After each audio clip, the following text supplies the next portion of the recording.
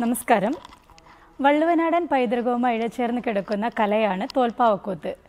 കമ്പരാമായണം അടിസ്ഥാനമാക്കി തമിഴ് സംസ്കാരത്തിന്റെ ഭാഗവുമായി വള്ളുവനാടിൽ വേരുറപ്പിച്ച ഭക്തിപ്രധാനവും ദൈവികവുമായ ഒരു കലയാണ് തോൽപ്പാവക്കൂത്ത്. അതിനെക്കുറിച്ച് കൂടുതൽ അറിവുകൾ ശ്രീ അരവിന്ദാക്ഷ പണിക്കർ നമുക്ക് പകർന്നു നൽകുന്നതായിരിക്കും.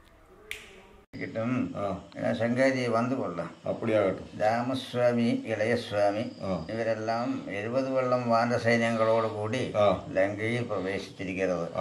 ஆனால் രാവണേശ്വരനെ മുന്നേ ஜானகி அம்மனை லங்கையில் கொண்டு வந்து അവരെ അന്വേഷണം ചെയ്ത് വന്നതാ എന്തിരുന്നാലും അവരുടെ മനസ്സിലിരുന്ന് വരാന്റെ ഉദ്ദേശം നമ്മൾക്ക് തെரிய വേണ്ട നമ്മൾ എന്ത് വേഷത്തിൽ പോകാനല്ല ലവർ നമ്മെ நாமல் ஆ. இந்த வேஷத்துக்கு போனால் அவர் நம்மை அந்த அந்த சங்கத்துக்கு பிரவேசித்து வருகிறதுக்கு முடி அவர் விட போவதில்லை இல்லை இல்லை ഒരു കാര്യമുണ്ട് என்ன? വേഷപ്രച്ഛന്നന്മാരെ കൊണ്ട് നാം പോക വേണം அப்படி போக வேணும் എടാ ശങ്കാരി ஆ എന്നെ വേഷമാകലും എടുക്കരുത് என்ன வேஷம் எடுக்கணும் നീ ചൊല്ലേ മുന്ന മുന്നമാകെ കൊണ്ട് ആ. നാം എന്നെ വേഷം എടുത്ത് പോകണം ശങ്കാരി ആ. കുക്കിലിന്റെ വേഷം കിട്ടിനാലെന്നാ പൂക്കിൻ്റെ വേഷമോ ആ ഓ എന്നാ അത് കേട്ടോ അപ്പോൾ അത് കുരങ്ങൾക്ക് കോപം വരും കോപം വരും. എടാ അന്ത വേഷം ശരി വരാറ്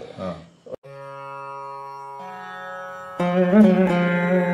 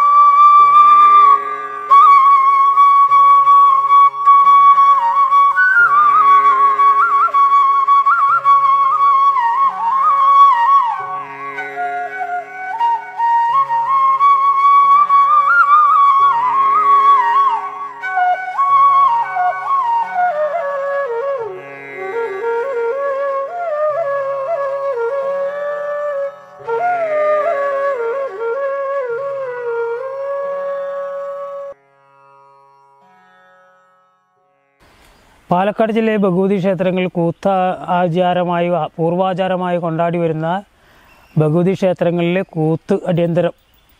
അത് പൂർവികമായി ഈ കൂത്തുമാടം എന്നുള്ളത് എന്നുള്ളതിനെ ഉദ്ദേശിക്കുന്നത് പണിക്കർ സമുദായത്തിന്റെ കളരീനെ ഉദ്ദേശിച്ചിട്ടാണ്. കളരി കൂത്തുമാടം കളരിയും തമ്മിൽ ബന്ധമുണ്ട്. കൂത്ത് കളരി നാൽപ്പത്തിയേഴടി കളരി അതേ കണക്ക് തന്നെയാണ് ഈ ദേവീ ക്ഷേത്രങ്ങളിലെ കൂത്തുമാടം. അപ്പോൾ ഈ കൂത്തുമാടം ഭഗവതിക്ക് കൂത്ത് കഴിക്കുന്നത് രാമരാവണ യുദ്ധത്തിന് വേണ്ടി അത് കാണാൻ വേണ്ടിയിട്ടാണ് ഈ കൂത്ത് കഴിക്കുന്നതെന്നാണ് പറയണത്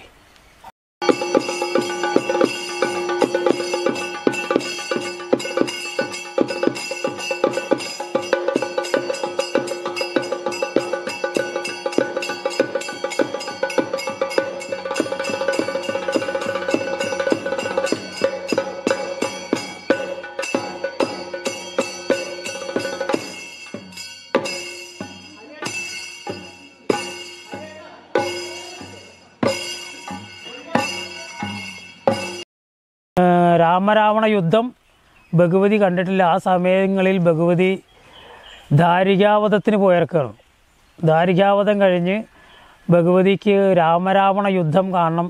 അപ്പോൾ രാമനെ ശ്രീരാമൻ എന്ന് പറഞ്ഞു കഴിഞ്ഞാൽ ഭദ്രകാളികൾക്ക് ഭയങ്കര പേടിയാണ്. അപ്പോൾ ആ പേടി എന്താ കാരണം എന്നുള്ളത് പരമശിവനായി തോൽപ്പാവ കൂത്ത് സഹായം കാണിച്ചു കൊടുക്കുകയാണ് ഭഗവതികൾക്ക് അതാണ് ഈ തോൽപ്പാവ അതായത് ശിവന്റെ അരയിലുള്ളത് തോലാണ്. അപ്പോൾ ആ തോൽപ്പാവയുടെ ഇത് ഭാഗ്യമായിട്ടാണ് തോൽപ്പാവ കൊണ്ട് തോൽപ്പാവ കൊണ്ട് ശ്രീരാമന്റെ ലക്ഷ്മണൻ ബാലി സുഗ്രീവൻ എന്നിവയായ രൂപങ്ങളെ കൊണ്ട് കൊത്തിയുണ്ടാക്കി അത് അതിന്റേതായ സമുദായങ്ങളുണ്ട്.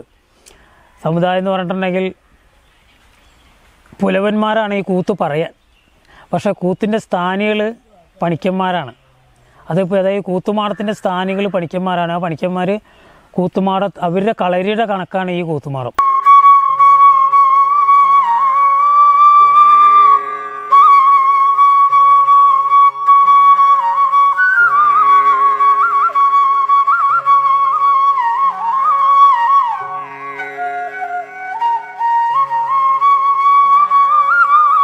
ഈ കൂത്തുമാടത്തിനെ രണ്ട് ഭാഗമാക്കി കണക്കാക്കിയിട്ടുണ്ട്.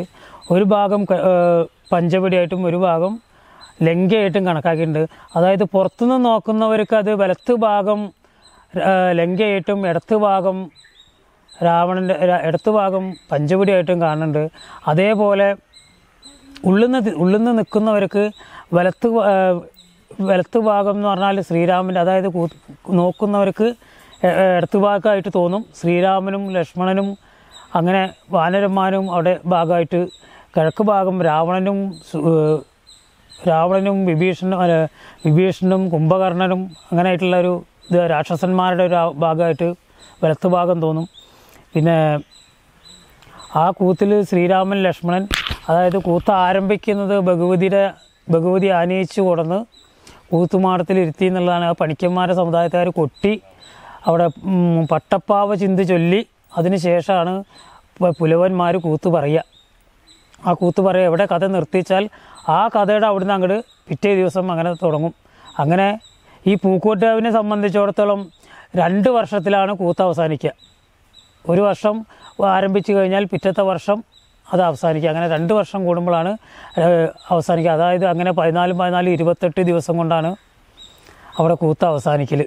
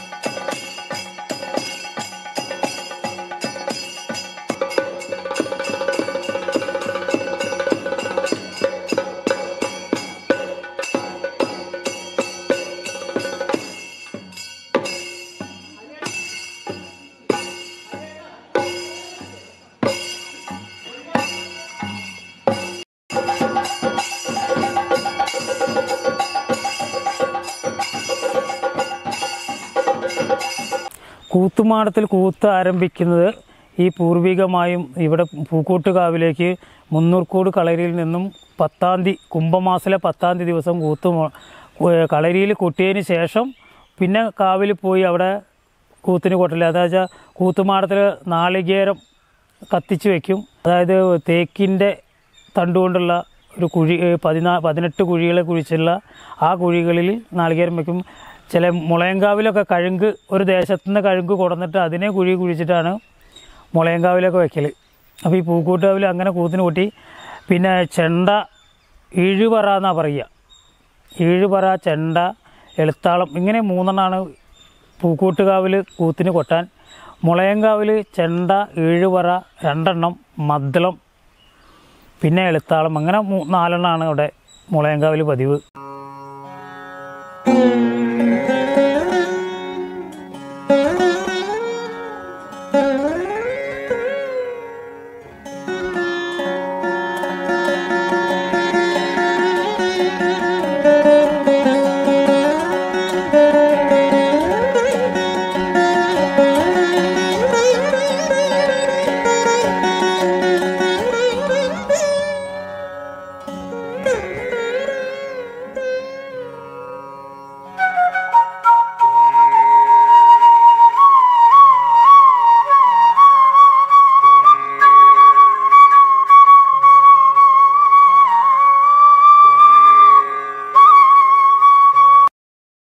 കൂത്ത് നടത്തുന്ന ദേശക്കാർ തമ്മിൽ ദേശക്കാരാണ് വഴിപാടായിട്ട് കൂത്ത് നടത്തുക. പൂ പൂർവികന്മാരായിട്ട് ഓരോ കാര്യം ഓരോ ദേശത്ത് ഉണ്ടായിരുന്നു. ആ ദേശക്കാർ കൂത്ത് നടത്തി അതിൽ കൂത്തുമാടത്തിൽ വിരിയുമ്പടയും അത് മുമ്പേ ദേശത്തു നിന്നാണ് ഇപ്പോൾ മുളയങ്കാവിലാണെങ്കിൽ ചെറുകോട് ദേശത്തു നിന്നാണ് ആ വിരിയുമ്പടയും കൊണ്ടുവരിക. വാദ്യത്തോട് കൂടി അവിടെ മുളയങ്കാവ് ദേശത്തിനും പൂ പൂക്കോട്ടുകാവിൽ അവിടെ ദേവസ്വംകാരനെ അത് പതിനെട്ട് മുളം പതിനെട്ട് മീറ്ററാണ് ഇപ്പോഴത്തെ കണക്ക്.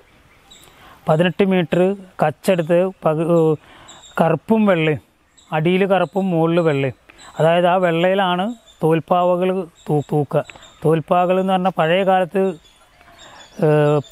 മാനിന്റെ തോൽ കൊണ്ടുണ്ടാക്കിയ പാവകളാണ്.